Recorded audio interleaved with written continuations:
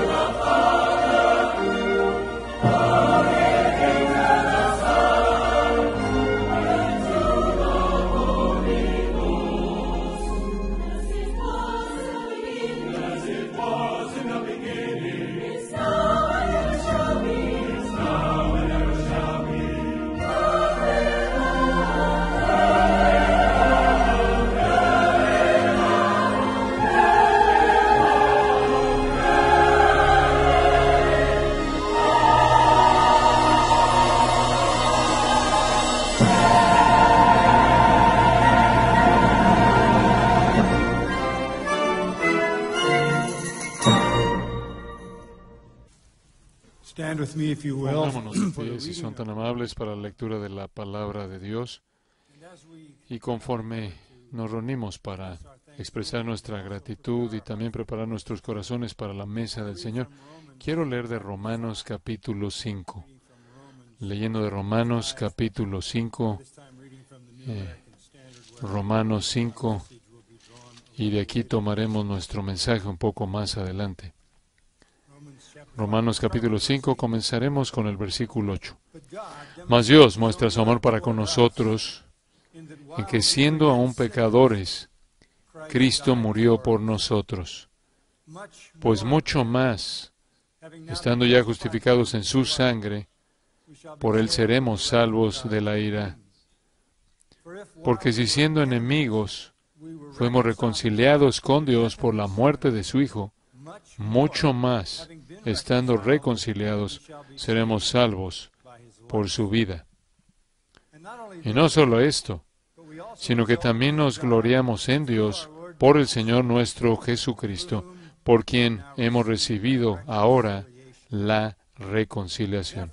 Por tanto, como el pecado entró en el mundo por un hombre, y por el pecado la muerte, así la muerte pasó a todos los hombres, por cuanto todos pecaron.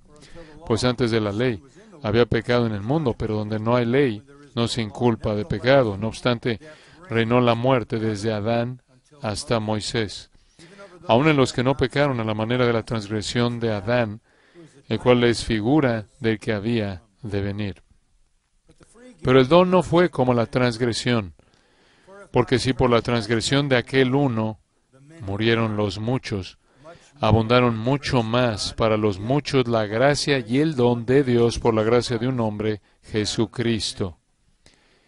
Y con el don no sucede como en el caso de aquel uno que pecó, porque ciertamente el juicio vino a causa de un solo pecado para condenación.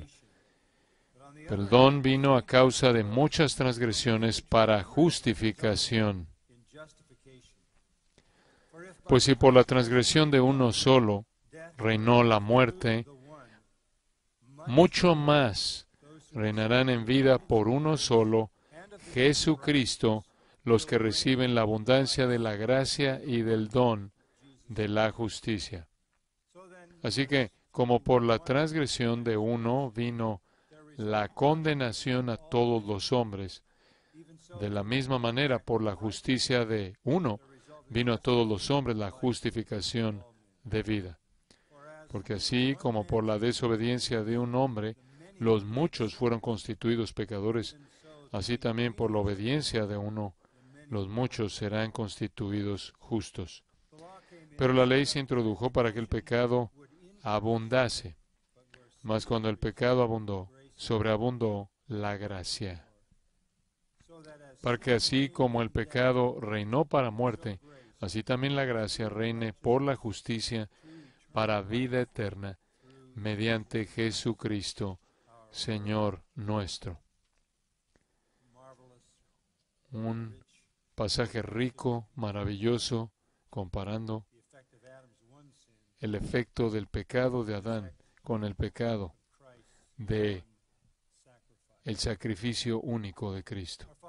Nuestro Padre, te agradecemos por la oportunidad esta tarde de contemplar aquello por lo que estamos más agradecidos, nuestra redención, nuestra salvación, nuestra reconciliación, el perdón de pecados, transgresiones, iniquidades.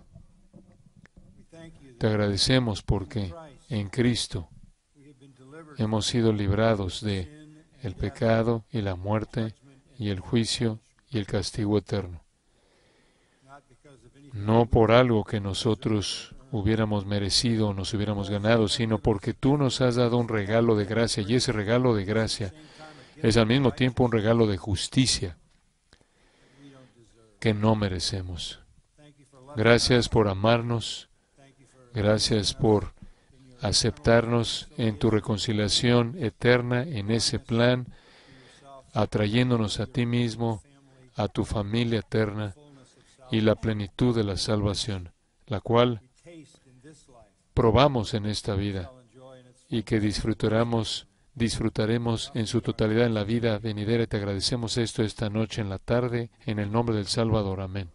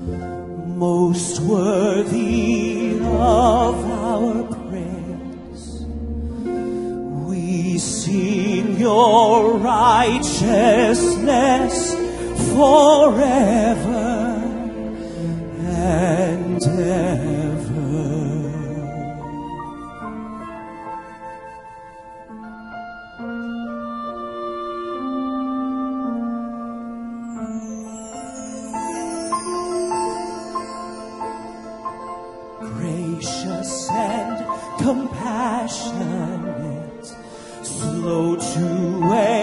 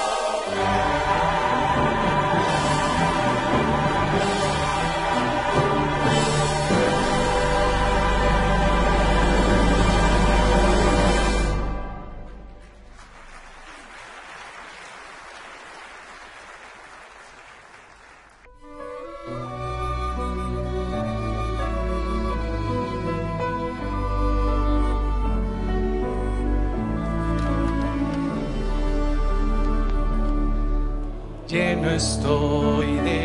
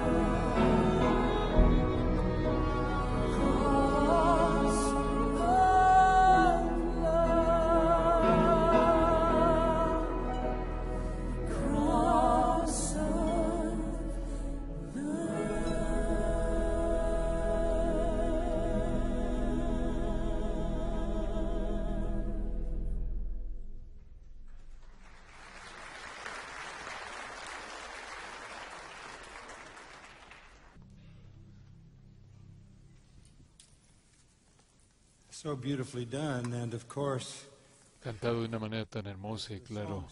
Como dice el Salmo, tenía que ser, como dice la canción, tenía que ser una cruz de amor y lo fue. Regresen en su Biblia a Romanos capítulo 5 y les recuerdo de lo que leímos hace un momento en el servicio. 5 8. Romanos 5.8. God demonstrates Mas Dios muestra su amor para con nosotros, en que siendo aún pecadores, Cristo murió por nosotros. Fue definitivamente una cruz de amor. Hay tantas facetas de la cruz, hay tantas, tantos ángulos, tantas perspectivas con respecto a la muerte de Cristo. Pero una que es poderosa y mal entendida es presentada para nosotros en la porción de la escritura que le leí hace un momento y es la comparación entre Adán y su impacto y Cristo y su impacto. La razón por la que esta comparación incluso se presenta en el libro de Romanos es porque una pregunta se hace conforme. Pablo presenta el Evangelio y la pregunta es esta. Cuando él habla de la muerte de Cristo siendo todo lo que es necesario para nuestra salvación, habiendo sido validada por su resurrección.